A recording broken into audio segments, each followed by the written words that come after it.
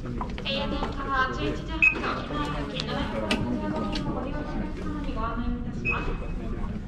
はただいまご利用のお客様を皆様機内へとご案内中でございます。11時発機内機7分15にご利用のお客様は皆様順番の乗車口よりご乗車ください。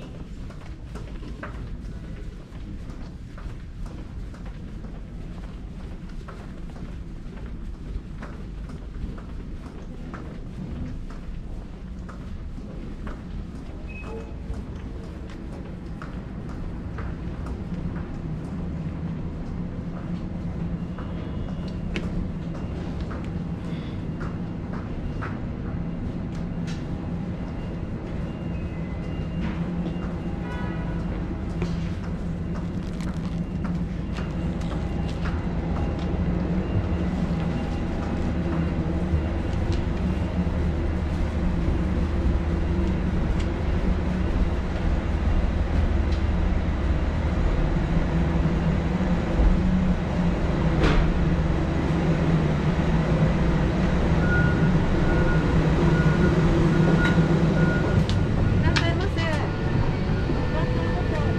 らっしゃいませ。ご乗車ありがとうございます。いらっしゃいませ。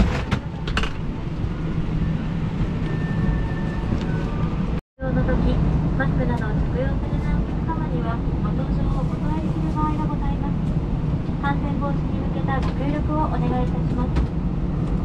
機内ではアルコールシートとビニール袋をご用意しています。ご希望のお客様は客室乗務員にお知らせください。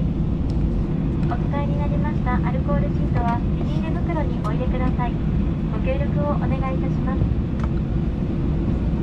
ドアが閉まりましたら、携帯電話などのすべての電子機器は電波を発する状態では手洗い